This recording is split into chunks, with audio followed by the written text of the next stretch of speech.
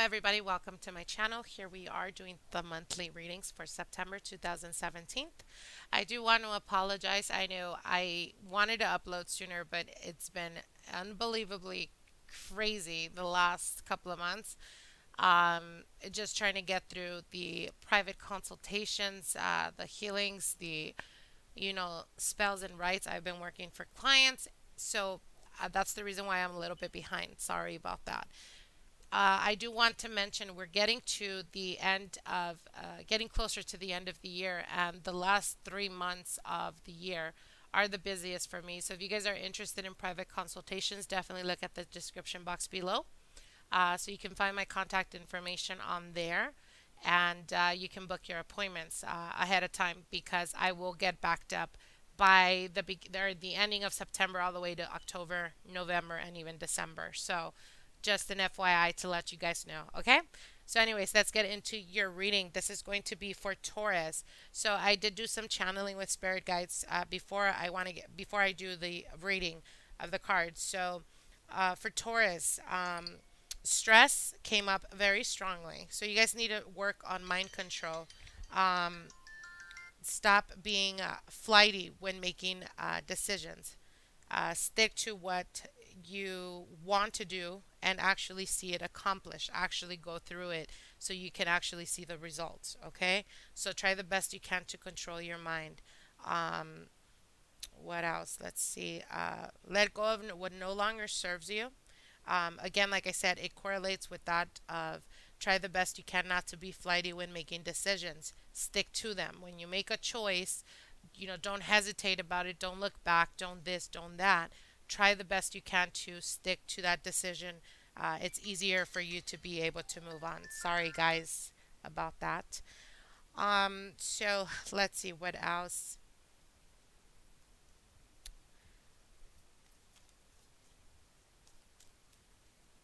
Try the best you can to let go of any form of resentments, um, any type of anger or animosity that you hold against someone from the past, uh, past relationship, past lover, whatever it may be. Uh, let go and release yourself from that. Also, you guys listen to your spiritual guides. Spiritual guides are coming through you or to you guys through dreams, through uh, through dreams, uh, through messaging. So messaging would be like uh, if you feel a light tap on your shoulder, if you feel that you keep continuously having the same dream over and over, try not to fixate on the dream, but try the best you can to remember exactly what it is that you felt in that dream because most of the time when they're trying to communicate with you they try to do so by emotions not so much by what you see unless in the dream you actually see symbols. If you do see symbols like you know uh, the pentacle for me you know something like that uh, that's their way of trying to guide you or trying to uh, bring better clarity for your waking life. So make note of that and try the best you can to remember that, okay? So let's see. Try the best you can to stop using stubbornness uh, for negative uh, uh for negative reactions. So when you feel that people are, you know, the you are naturally stubborn, um, and when you feel that people are just trying to push your buttons, um, you know, don't don't stick to the I'm gonna you know sit there and argue with you. Just walk away from it because I do feel that for September they're going to be testing your patience, Taurus. so try the best you can to remain calm. Okay. Old flames are definitely coming back around uh, for you, Taurus, for the month of September. So again, try the best you can to release what no longer serves you and move forward. Okay, so let's get into your card readings.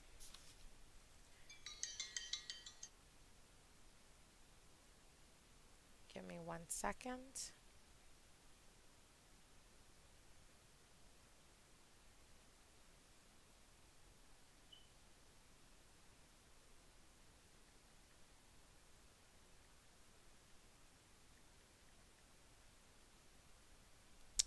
All right, let's get into your reading. Sorry about that.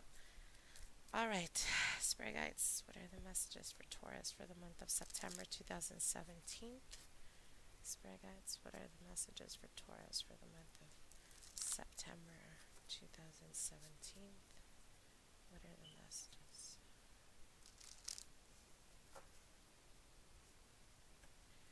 Adivinando el futuro constantemente. Me dan la facultad para ver el más allá.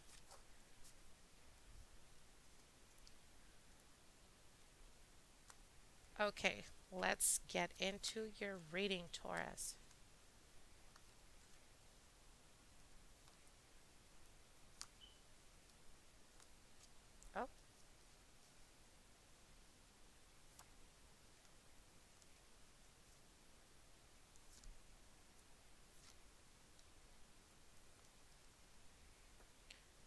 All right, so let's get your general energy is the Ace of Wands.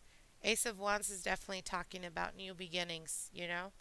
Um, aces are always new beginnings, but the Ace of Wands is like your passion being ignited or the beginning stages of a connection when it comes to love and romance, okay? So, anyways, you're going into the month with the World card. The World card is symbolization of an ending cycle. Something is ending for something new to begin. So, it's walking away or ending relationships, removing yourself from past negative uh, relationships that no longer served you. You have the Eight of Pentacles. The Eight of Pentacles is you definitely try to work out this relationship or the relationship that you were in. If you're currently in a relationship, you're definitely the one that's taking it upon themselves to actually work through it. You have the car, um, you have the, yeah, the chariot, sorry, I said the car. The chariot. Um, so the chariot is definitely learning how to maneuver uh, the universe and, and how to ask the universe to assist you in maneuvering anything that has to do with manifestation. So if you guys are working on creating anything that has to do with light work, anything that has to do with, uh, you know, a spirituality, uh, manifestations, anything like that, continue on that because you will let you will get to a point where you will see it start to manifest and unravel very quickly for you guys. Okay. Now, the King of Swords here, this is an air sign. So it could be both male or female. It doesn't have to be just a male. It is a general reading. So an air sign would be a Gemini, a Libra, or an Aquarius. And this person is looking towards the Nine of Swords.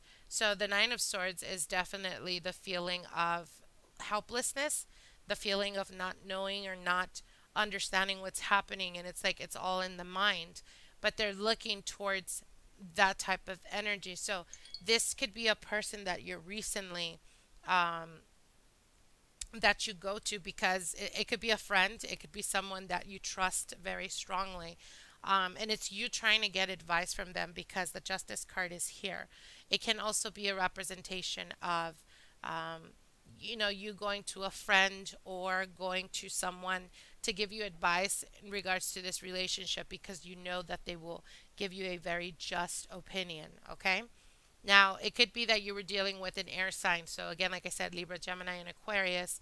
Um, with the Six of Wands, I see a lot of victory for you guys, okay? And I feel that more so than love and romance, I feel that this is going to be the month of growth uh, and actually being able to stabilize anything that has to do with finances and money, uh, recognition, even, uh, you know, for a job well done. Uh, if you guys are working on a project, you will come to see that project be materialized or realized, uh, achieving that goal or attaining the goal. Um, a lot. I see a lot, you dealing with a lot of people for the month of September. The Six of Wands is you returning or feeling victorious over a situation. It could be a project that you were working on or you've been working on.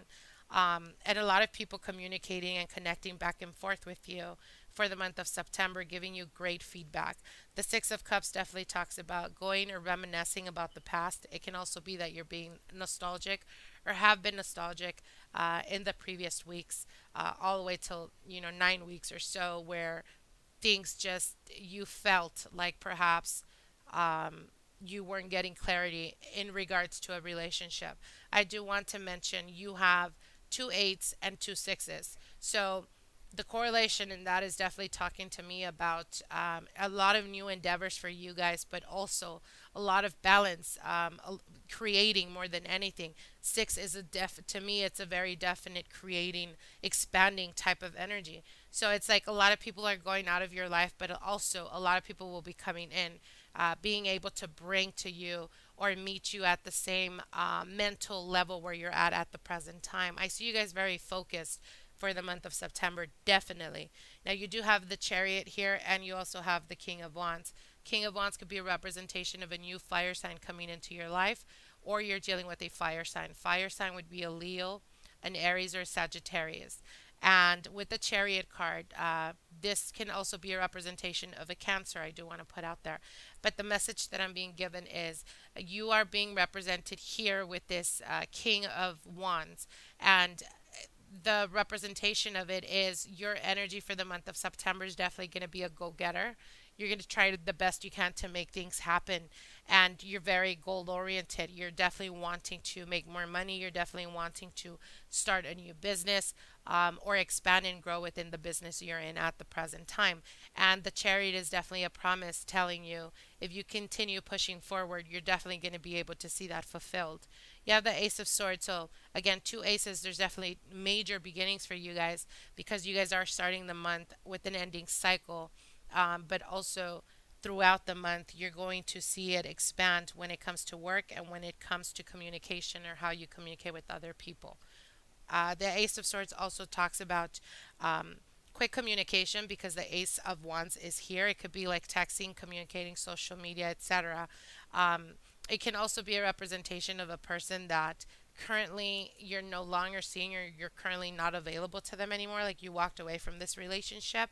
Um, the nine of swords is that's their state of mind at the present time and them looking to you or looking at you through social media or anything like that. So again um, with the ace of swords it's definitely you know uh, value truthfulness. If they've lied to you in the past they're going to continue lying to you so move on from what no longer serves you again like i said um, also, if you've been, uh, we were talking about um, anything that has to do with spirituality, the Ace of Swords definitely speaks about being able to receive or being able to open your crown chakra and receive messages. So, again, pay very close attention to the messages that spirit guides have for you guys.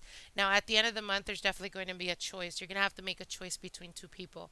This could be a person, like I said, of an air sign um, that was from a past relationship um, it, it, could be also an earth sign because you do have uh, pentacles here. Um, so I've pretty much seen uh, water sign, air sign here with the justice card. I, I'm pretty much seeing all the elements. So again, you're going to have to make a choice from a person from your past to a person that's coming into your life. So, what I mean by that is, I am being told that if you make the wrong decision, a decision you have made already in the past, meaning if you've been broken up with a person and you continuously keep breaking up with them and going back, uh, you know, that decision is basically going to come down to you choosing again whether to go back with them or not.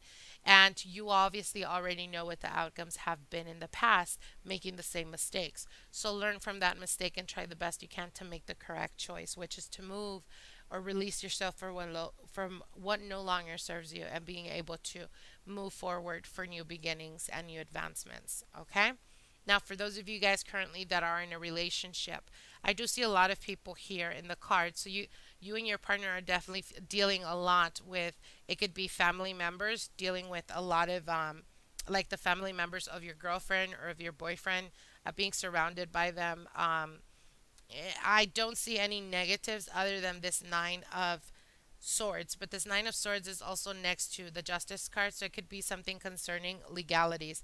Uh, for those of you guys that are you know in a long-term relationship or committed relationship it could be having something to do with a past partner that you're no longer with. If you guys share uh, share child custody or if you have kids with this person they might want to take you to court uh, to be able to spend more time with their kids because the Six of Cups is here, okay?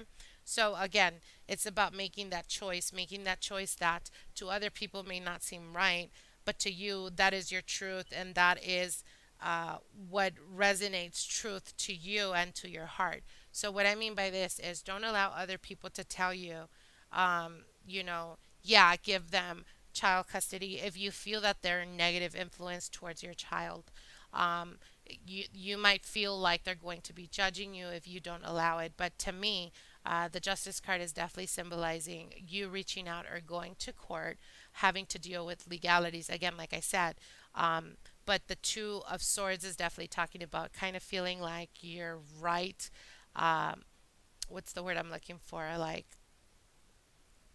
like they've pretty much put you in a like you're in a corner and you're having to make a choice they've pinned you to a corner basically.